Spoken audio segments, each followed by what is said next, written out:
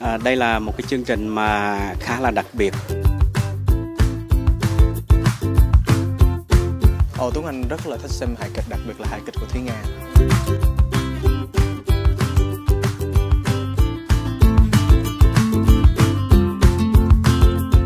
Trời, trí tài rất là hay.